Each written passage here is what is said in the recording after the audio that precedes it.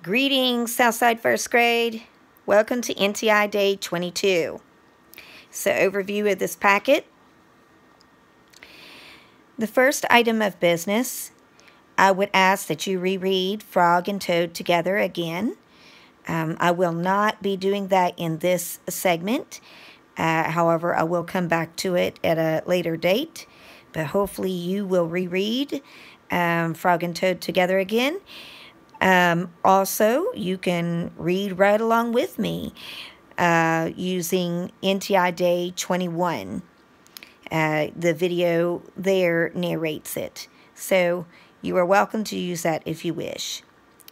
Uh, don't forget to go back and look over the essential questions that are found on the story pages. We pointed those out last time very carefully. Uh, make sure that you can verbally answer those questions and then complete the words to know worksheet. Uh, I will demonstrate how to do that. For the phonics slash foundations section, uh, you do have an AR words sheet. Uh, I will go through that with you. I also have taken a snapshot of the actual workbook page because number question number four does not appear clearly um, after it was copied. So I want to make sure that you get a detailed illustration of that so you know how to answer it. For math, we will continue to work with two-dimensional shapes or 2D shapes. Uh, we will complete that lesson and following that, um, we will have an opportunity to look over some of the NTI Day 22 artwork activities.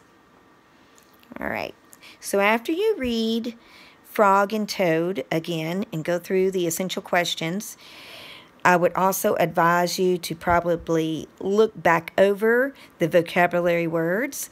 Uh, last video installment uh, for NTI Day 21. I was very detailed with that and what the words mean. Um, you'll want to do that before you do this words to know activity.